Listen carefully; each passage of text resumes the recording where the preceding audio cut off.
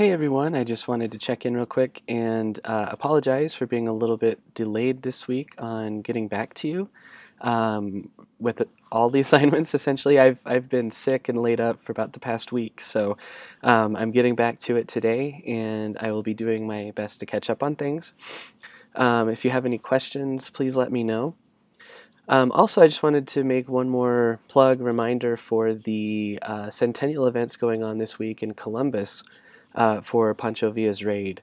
I know not all of us live in southern New Mexico, but for those of us that do, um, really encourage you to get down there and uh, check them out if at all possible.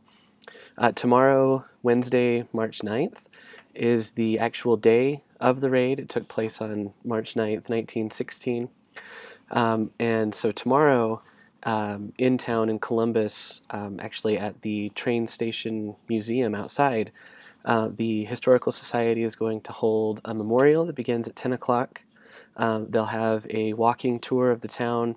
Um, if you haven't been there, there's still markers of uh, commemorating the buildings that were destroyed during the raid, the people who died, and those kinds of things.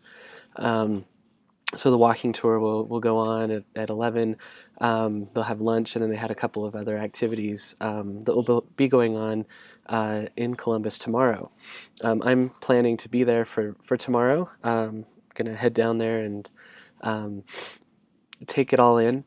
Um, I'm not going to be able to make it on Saturday. Saturday the 12th is the Cabalgata Internacional um, that comes across the border uh, from Chihuahua, and uh, that will be happening then um, on Saturday morning.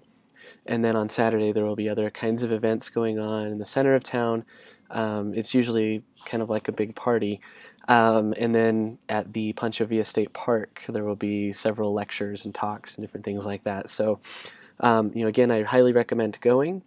Um, if you go and are able to prove that you went, um, it could be worth a little bit of extra credit. So um, please keep that in mind. And also, I'll offer some other extra credit opportunities for those that just can't possibly make it, just uh, so that there are fair opportunities for that for everyone. Um, and I'll let you know what those are when I'm when I'm able to uh, here in the near future. So um, I hope you're enjoying your week off, and uh, please let me know if you have any questions or concerns.